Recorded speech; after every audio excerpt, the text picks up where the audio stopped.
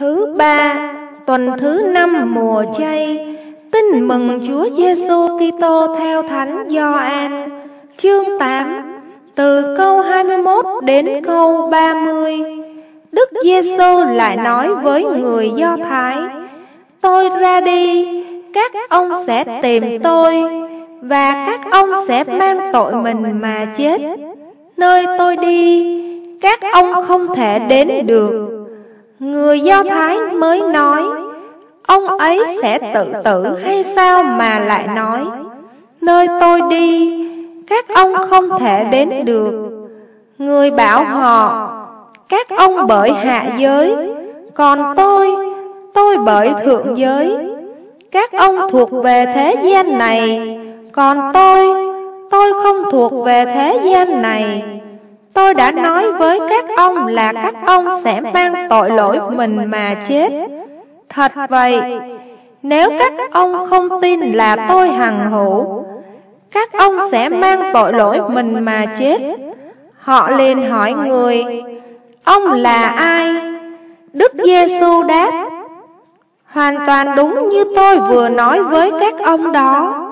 Tôi còn có nhiều điều phải nói và xét đoán về các ông. Nhưng đấng đã sai tôi là đấng chân thật. Còn tôi, tôi nói lại cho thế gian những điều tôi đã nghe người nói. Họ không hiểu là Đức Giêsu nói với họ về Chúa Cha. Người bảo họ Khi các ông dương cao con người lên Bấy giờ các ông sẽ biết là tôi hằng hữu Và biết tôi không tự mình làm bất cứ điều gì như Chúa Cha đã dạy tôi thế nào, thì tôi nói như vậy. Đấng đã sai tôi vẫn ở với tôi. Người không để tôi cô độc, vì tôi hằng làm những điều đẹp ý người. Đức Giêsu nói thế, thì có nhiều kẻ tin vào người. Suy niệm Đức Giêsu tuyên bố một phán quyết hết sức lạ lùng Ngược lại toàn bộ tin mừng.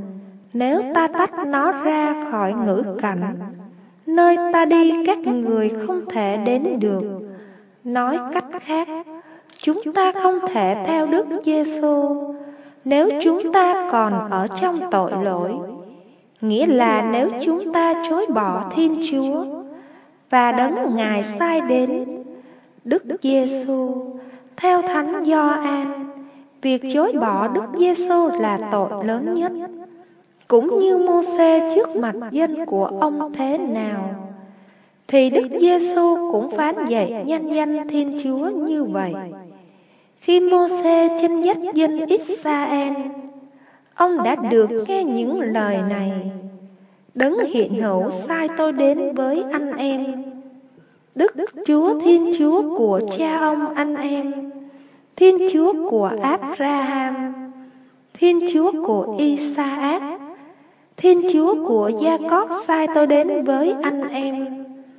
Danh Thiên Chúa đã đủ cho người Do Thái rồi, vì họ tin vào Môsê nên chạy thoát khỏi nô lệ về đất hứa. Danh này chứa đựng quyền năng và là năng lực cho công cuộc xuất hành. Nhờ danh này, mà lẽ vượt qua được thực hiện. không thiếu mana cũng không thiếu nước uống. cũng đã xảy ra những rắn lửa bò ra cắn chết nhiều người.